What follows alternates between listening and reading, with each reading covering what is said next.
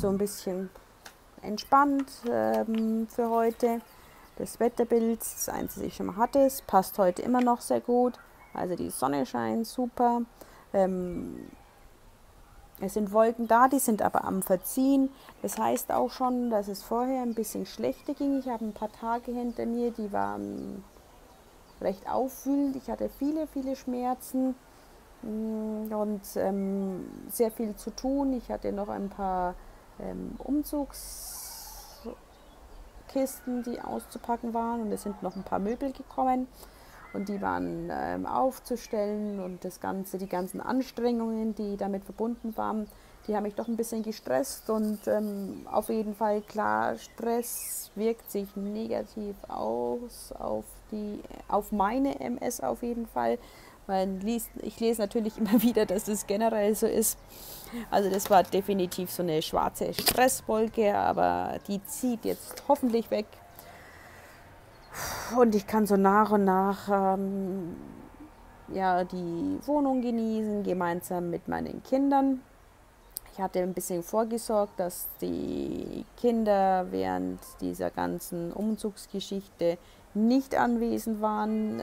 Das war gut so, weil am Tag drauf war ich sowas von platt und fix und fertig. Ich war die ganze Zeit im Bett gelegen und ähm, habe tatsächlich auch die ganze Zeit geschlafen. Also es ist nicht ein nur im Bett liegen und ähm, nicht schlafen können ähm, und versuchen zu schlafen, sondern es ist ein im Bett liegen, die Glieder gleiten dahin, sie liegen, man kann sich gar nicht mehr bewegen, man, man lässt es auch einfach zu, dass sie nur noch schlaff ähm, da sind und ja, dann fällt man so langsam in einen erholsamen Schlaf.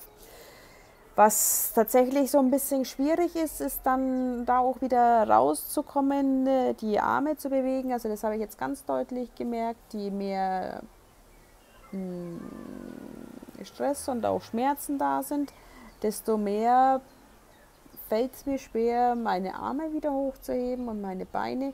Ich hatte jetzt auch ähm, gestern, wie ich in der Arbeit war, ähm, ganz kurz äh, Probleme leicht mit dem Sprechen. Ich hatte einen lalligen Zungenschlag und hatte auch so Wortfindungsprobleme, was ich allerdings mit ein äh, bisschen Ruhe und Hinsetzen und ja, jetzt äh, mache ich eine kurze Sitzentspannung, dann äh, zumindest so weit regeln lassen konnte, dass ich ohne weiteres weiter unterrichten konnte und meine Arbeit zu Ende gebracht habe und ähm,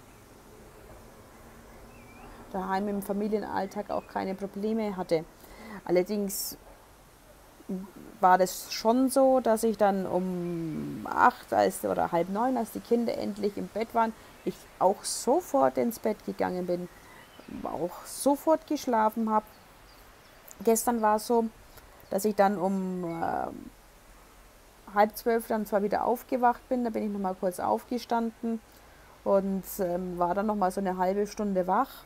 Aber ich konnte dann auch wieder gleich einschlafen. Das muss man sich mal vorstellen. Jetzt hat der Wecker heute um halb sieben geklingelt. Ich bin um neun, zehn, elf, zwölf und dann äh, eine halbe Stunde wach sein.